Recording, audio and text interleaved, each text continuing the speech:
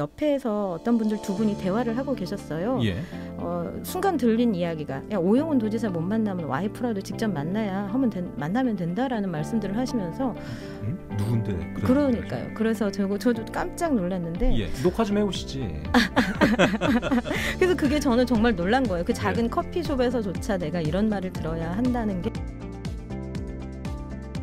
이제는 어, 관광객 줄이자라는 이런 말이 뭐 음. 기사에도 그리고 어느 시민사회 단체의 보도 자료에도 이렇게 나오고 있더라고요. 예. 뭐 어쨌든 그 불편한 지점을 녹색당이 예. 어, 건드린 것에 대해서 아직도 많은 분들이 화가 나신 분들도 많지만 그래도 그렇다면 방법을 예. 좀 꺼내봐 예. 이렇게까지 말씀해주는 단계로 좀 바뀌고 있다라고 예. 느끼고 있습니다. 아, 저희 이번에 선거 목표는 도의원 한 명 꼭 만들어보자였어요. 음, 예. 근데 과연 이 메시지가 이 메시지가 어, 그 목표에 부합하는가에 대한 그런 고민들이 있는 것이죠.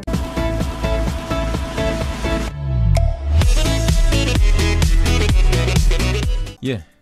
지방선거는 다 마무리됐고요. 그 결과를 놓고 보면은 양당 중심의 정치만 남고 사실상 소수 정, 정당들 진보 정당은 어 글쎄요 좀 길을 못 폈다는 평가가 나오고 있죠.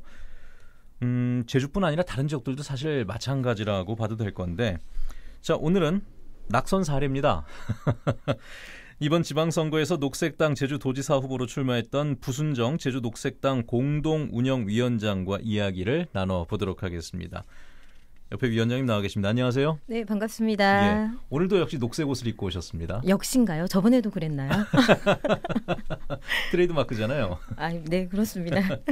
자, 먼저 선거 끝나고 어떻게 지내셨는지 궁금합니다. 먼저 오늘부터 오늘 일정부터 말씀드리자면 오늘은 강정 해군 기지 앞에서 예. 림팩 철회 기자회견이 있었습니다. 아, 예. 그 미국이 주도하는 세계 최대 다국적 훈련 림팩 그 훈련을 철회해 달라고 한 것인데요. 예. 6월 29일부터 8월 4일까지 훈련은 있지만 이미 5월 31일에 강정 해군 기지에서 이제 군함들이 출항을 했거든요. 예.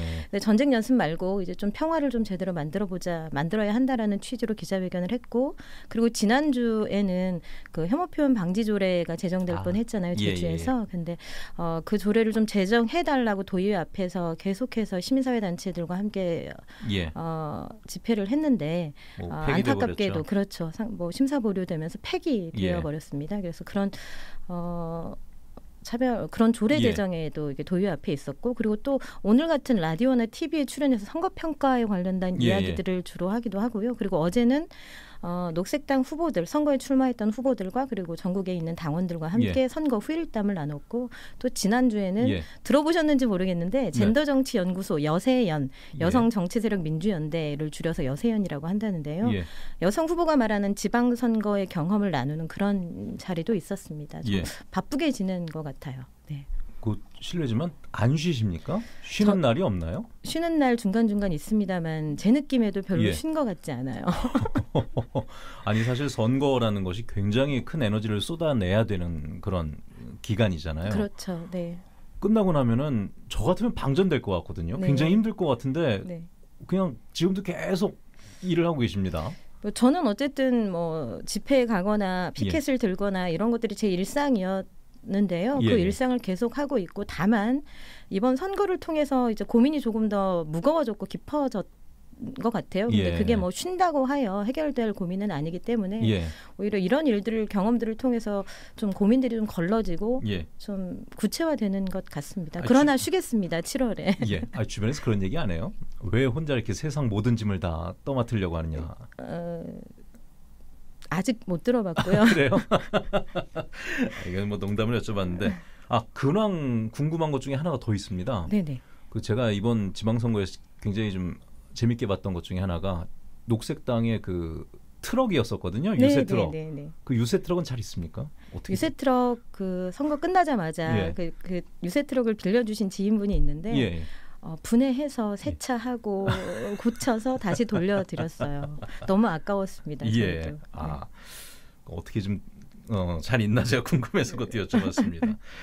아까 그 당원들이랑도 지난 선, 선거 평가도 좀 하셨다 그랬잖아요. 같이 뭐 방송에 출연해서 여러 가지 좀 이야기들도 해보시고 저희도 한번 여쭤보도록 하겠습니다. 녹색당 차원에서는 이번 지방선거 사실 득표수로 보면은 아, 좀 기대 못 미치셨을 것 같아서 많이 속상했죠. 예. 네. 어떻게 평가를 하고 계신지도 궁금하네요. 어, 선거는 일단 지지율로 득표수로 이제 평가를 해야 하잖아요. 예. 그걸로 기준으로 생각해 본다면 2018년보다 음. 뭐 절반 수준에밖에 못 미쳤어요. 뭐 후보 후보 지지율 같은 경우에 3.53%였는데 이번에 1.94%. 예. 뭐 5,750여 분이 저 녹색당 도지사 후보를 지지해 주셨고 정당 지지율 같은 경우에 지난 선거 4.87%였는데 이번에 2.83% 예. 8,300 여든 한 분이 저희 녹색당을 지지해 주셨는데 음. 어쨌든 반토막이 난 거라서 저희의 도전이 지지율을 기준으로 해서는 이건 실패했다라고 예. 볼수 있습니다. 하지만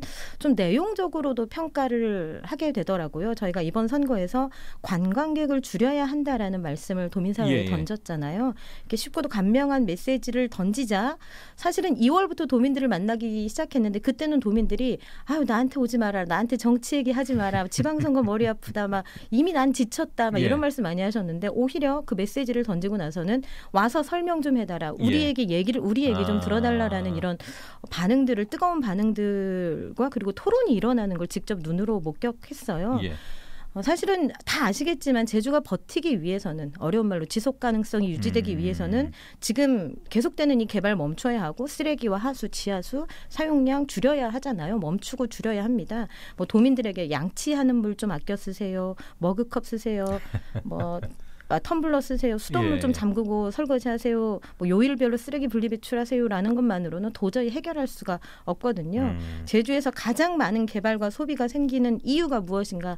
뭐 대규모 관광 산업, 관광 사업장이다. 근본적으로 그렇다면 관광객을 줄이는 어찌 되었든 하수 문제를 해결하기 위해서 뭐 도도 하수 처리장 뭐 증설 공사까지 5년이라는 시간이 아직도 남아 기다려야 하는데 그 기간만으로라도 예. 어, 관광객을 줄이는 방법 얘기해보자라는 음. 것에 대해서 많은 분들이 얘기를 해주시고 있고 어, 사실은 저희가 이 얘기를 하기 전에 너무 두려웠습니다. 정말 욕 너무너무 많이 먹을 거라는 거 알고 있었고요.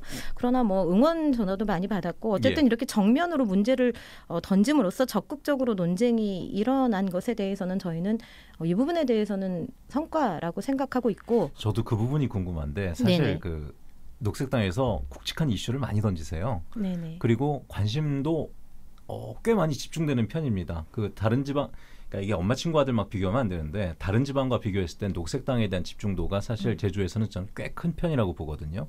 언론에도 뭐 불만은 많으시겠지만 사실 상당히 많이 다루는 편이라고 저는 보는데 다만 이게 표로 이어지지 않는 부분에 대해서는 아마 좀 평가를 하시겠죠. 그 그렇죠. 부분도. 저희가 이 짧은 지방선거 기간에 예. 관광객을 줄이겠습니다라고 딱 던져놓고 그 다음 단계가 뭐였냐 하면 녹색당에 투표해 주세요였거든요. 예. 사이에 아주 중요한 과정이 아. 빠져 있었던 거죠. 그럼 관광객 어떻게 줄이겠다는 거야? 관광객 예. 줄이면 어떤 일이 벌어지는 거지? 그렇게 바뀌었을 때 너희는 우리에게 어떤 일들을 해줄 수 있는 거지라는 구체적이고 세세한 아. 그런 과정이 예, 예. 빠져 있었던 것이고 그것이 뭐 이번에 선거 기형적인 선거 과정 일정의 문제일 수도 있고 그리고 음. 그것이 저희 아직 녹색당이 제대로 된 뭐 어떤 분은 친절하게 설명해주지 못했다라고도 표현하시던데 예. 그런 미비한 부분이 분명히 있었다라고 뭐 저도 음. 생각하고 있습니다. 예. 네.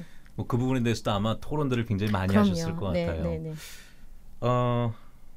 그러면은 아, 이 질문도 한번 드려볼까요? 지금 뭐 이제 당선인은 오영훈 어, 더불어민주당 도지사 당선인이 나왔는데 음, 경쟁을 했던 입장에서 이제 앞으로 이제 뭐 도정을 이끌어 가야 될 또 분위기도 하니까 혹시 당부하고 싶은 말씀이 있다면은 한 말씀 해주셔도 좋을 것 같습니다. 이거는 제가 어제 중앙로 커피숍에서 예. 겪었던 일화하고도 연결을 해서 말씀드리고 싶은데 예. 지금 어, 오영훈 어, 도지사님의 그 인수위 당선인 당선인 예. 인수위 이름이 미래준비위라고 알고 있습니다. 예, 예. 다 함께 미래로 준비위원회를 줄여서 미래준비위라고 말씀 을 하고 있는데요. 예. 그래서 저는 질문을 누구와 누구와 함께 하겠다는 것인가가 너무 음. 궁금하다.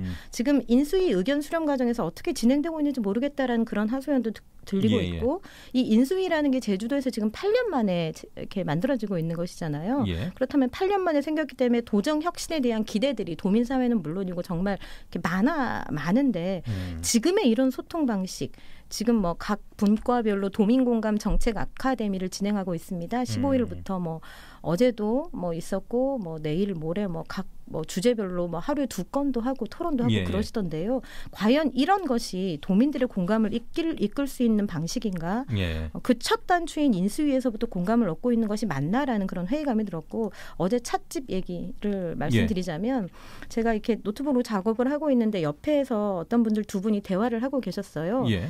어, 순간 들린 이야기가 야, 오영훈 도지사 못 만나면 와이프라도 직접 만나야 하면 된, 만나면 된다라는 말씀들을 하시면서 음? 누군데 그 러니까요. 그래서 저, 저도 깜짝 놀랐는데 예. 어쨌든 후보님이 지금 열심히 노력하고 계시고 인수위 분들도 열심히 활동하고 계시고 27일에 뭐 도정 혁신 방안들 이제 나올 걸로 알고 예. 있습니다만은 그 당선인께서 말씀하시는 제주의 비전과 가치가 이제 빛 빛을 보기 전에 예. 이런 선대기나 줄대기 정치가 횡행하는 아, 상황들은 아닌가라는 그런 예, 예. 그런 우려가 사실은 들어서 음. 어, 되게 짧은 기간이잖아요. 그러니까 예. 이 기간 안에만큼이라도 그 당선인의 그 예. 철학과 가치가 반영될 수 있었으면 하는 바람이 있고 그런 바람이 좀 예. 기대만큼 충족되기를 어, 충족되었으면 좋겠다라는 도민의 한 사람으로서 그런 기대를 말씀드려 보겠습니다. 아니 당선인을 못 만나면 와이프라도 만나야 된다고 뭐 그런 얘기를 합니까? 어, 누가?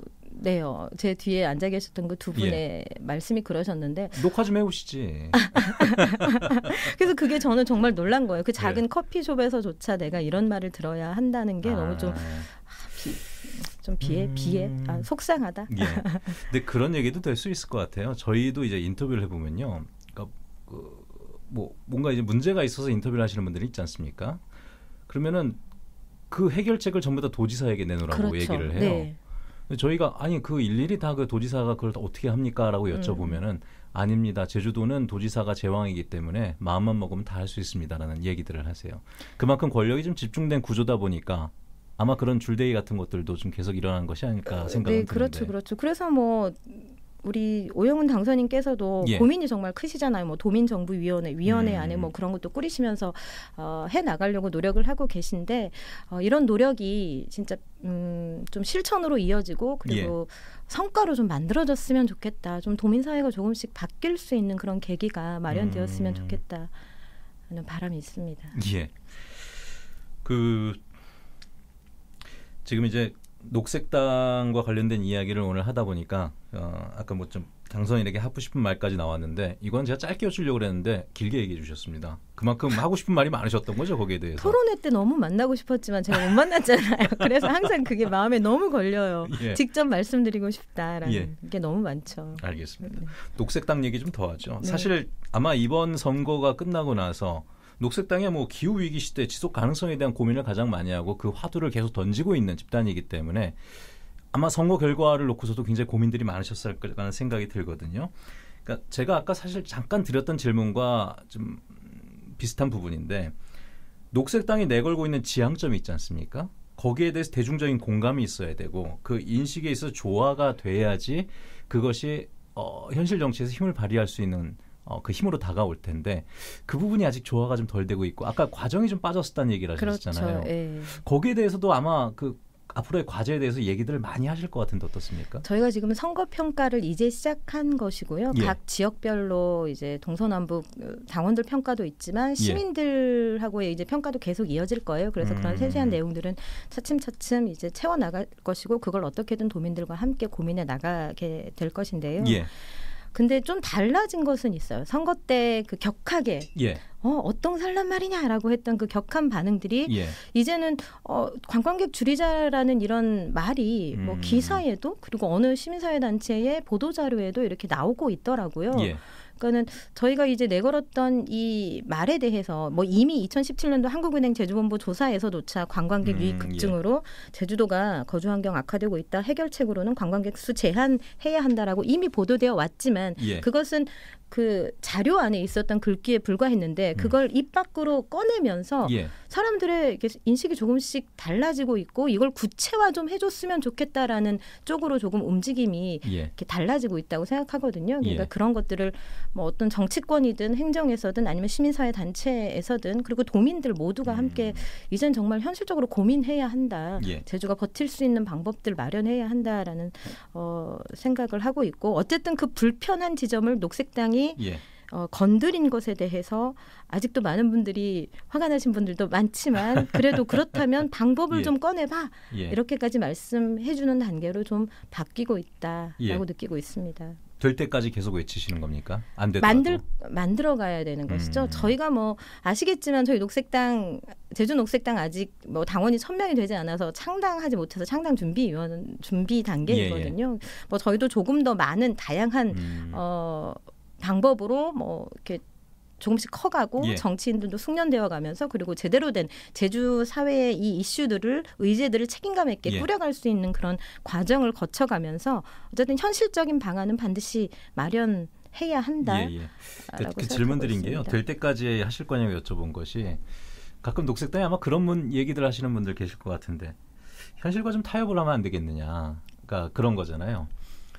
어, 제가 만약에 어, 부순정 그 후보의 전 후보의 어, 캠프 선거 캠프의 조력자였다면은 저는 그 관광객 줄이자는 얘기를 아마 빼자고 했을 거예요. 왜냐하면 그 이기는 것만 목적으로 한다면은. 그렇죠. 근데 네. 녹색당은 절대 그 부분을 못 빼시는 거잖아요. 지금은.